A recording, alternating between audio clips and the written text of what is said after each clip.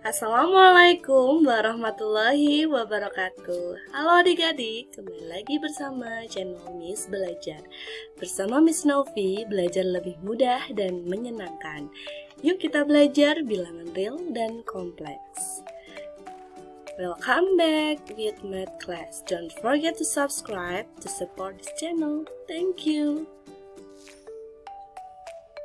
Pada pelajaran kali ini, kita akan belajar tentang bilangan real dan bilangan kompleks. Apa yang dimaksud bilangan real? Bilangan real adalah besaran yang dapat dinyatakan sebagai ekspansi desimal tak terbatas. Bilangan real digunakan dalam pengukuran besaran yang terus berubah seperti ukuran dan waktu. Sistem bilangan real ada bilangan asli terdiri dari 1, 2, 3, dan seterusnya Bilangan cacah dimulai dari angka 0, bilangan bulat terdiri dari negatif, positif, dan bilangan 0, dan bilangan rasional. Nah, bilangan irasional di luar bilangan rasional ya. Sistem bilangan real. Bilangan rasional berbentuk A per B, di mana A dan B adalah bilangan bulat. Contohnya adalah 9 per 17, 2,3, 0, dan lain-lain. Nah, untuk bilangan irasional tidak dapat dinyatakan sebagai rasio dua bilangan bulat. Contohnya pi, negatif 1,256 dan seterusnya, dan juga akar 7.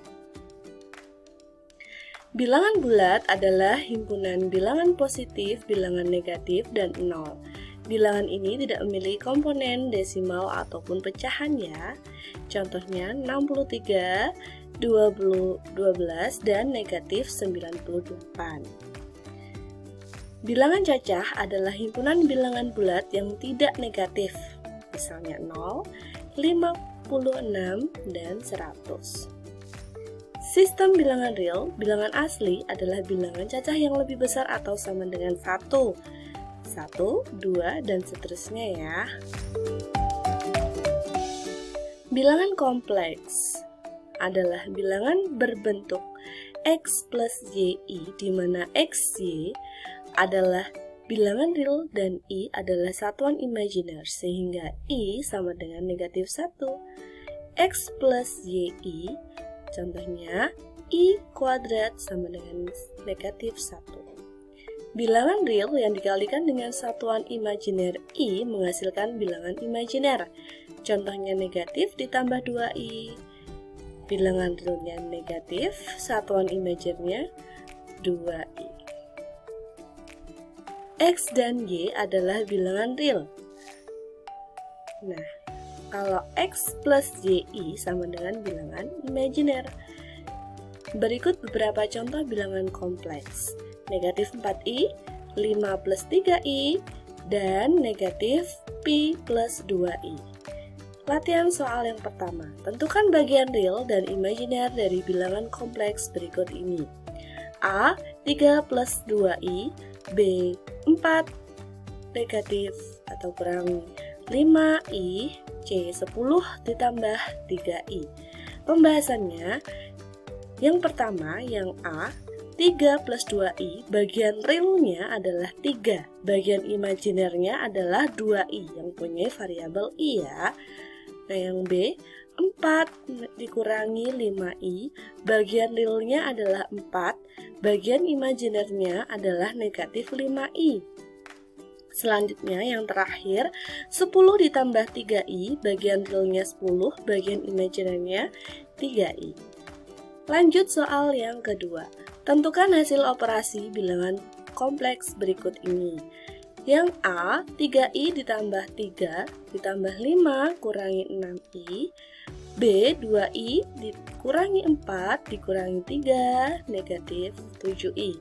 Pembahasannya, nah pertama-tama kita tulis dulu soalnya 3i tambah 3 ditambah 5 dikurangi 6i sama dengan nah kita uh, kelompokkan bilangan real dengan bilangan real bilangan imajiner dengan bilangan imajiner.